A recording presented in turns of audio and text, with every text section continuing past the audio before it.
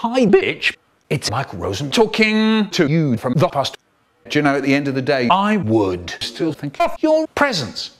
And I thought I can take myself to confess how much I miss you around here. So here goes.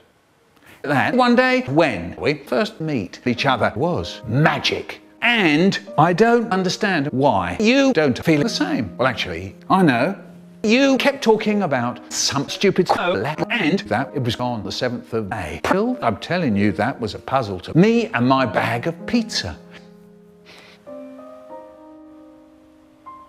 Stop that stupid background noise, will you?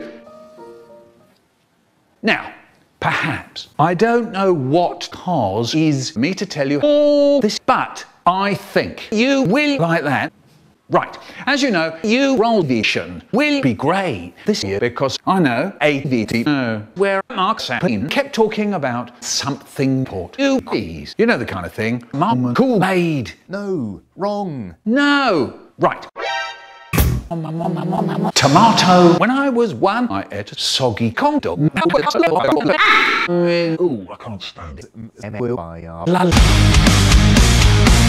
I wanted to play Station 5 and they wouldn't let me eat my nose. And I was born in the raisins jar. Actually, um, it was very gay. That's enough.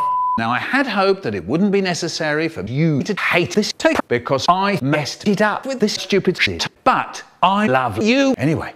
Take care and wish me happy birthday, you fool.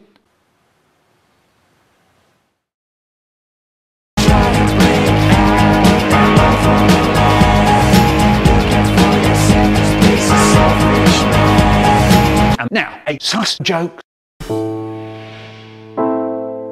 Sus.